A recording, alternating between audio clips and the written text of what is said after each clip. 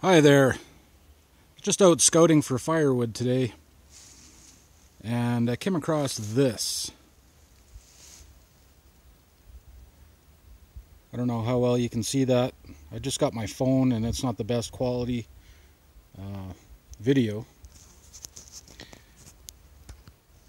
So, last year, about this time, there was a lot of fatwood videos going on around YouTube so for all the uh, bushcrafty prepping types, I just thought I'd share this with you. Um, so this tree is broken off right here. And the rest of it is just laying right here. So I was going to come back and, and saw this up for firewood. And I noticed this. So all of this right in here is where all the sap has gone, where it, where it rushed to the scar, I guess, and since dried out. This tree's probably been laying here for, oh, judging by the coloration on the, the wood, I'd say for two or three years, anyways. So it's dried into the wood, and I think that's what fatwood is. I never really paid much attention to what fatwood was before. It's something I've always just kind of taken for granted being out here in the country. Didn't know that it was a something that could be used as a fire starter. But uh, since then, I've been a little bit more cognizant of it when I come across it. Now, this was a pretty, pretty good mine of uh, fatwood by my estimation, anyways.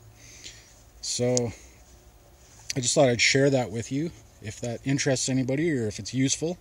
Looking for um, trees that are broken off with maybe with fire scars or lightning strike or just broken in the wind if you look around close to where the scar is, you can find that there's quite a bit of that buildup in there. That waxy sap mixed in with wood. Oops, sorry about that. Mixed in with the wood there. You can shear it off a little bit.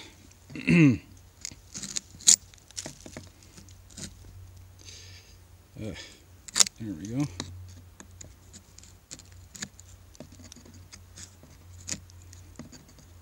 don't know if you can see that there, but it peels off, curls right up, like uh, looks like fatwood does in the videos I've seen.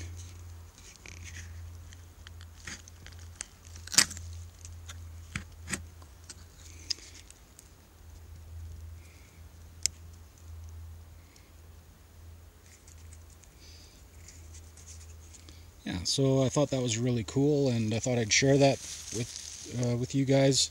If you find that that's useful, I hope that helps. If you're out looking for it in the bush, that might be one source.